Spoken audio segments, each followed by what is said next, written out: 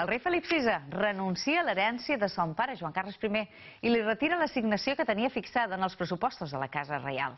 Això després que es publicassin diverses informacions en les quals s'assegura que Felip VI és beneficiari de dues fundacions creades per son pare i que presumptament són investigades a Suïssa.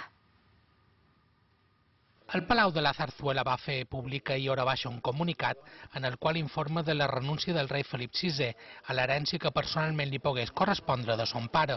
Això després de diverses informacions publicades aquest cap de setmana en les quals s'assegura que Felip VI és beneficiari de dues fundacions creades per son pare i que són investigades a Suïssa per la seva vinculació a una donació de 65 milions d'euros de l'Aràbia Saudita.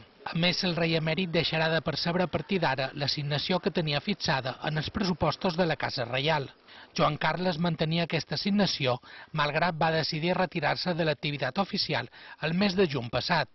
Com a membre de la família reial, l'anterior cap de l'Estat mantenia un sou de més de 190.000 euros anuals. Felip VI assegura que desconeixia la seva suposada designació com a beneficiari i que quan en va tenir coneixement, a través de la carta d'un despatx d'advocats, ho va traslladar al govern i a son pare, a qui va demanar que l'ha deixat sense efecte. El Partit Popular, Vots o Ciutadans han expressat el seu suport a les decisions adoptades pel rei, mentre que Podem ha instat a obrir-ne una investigació.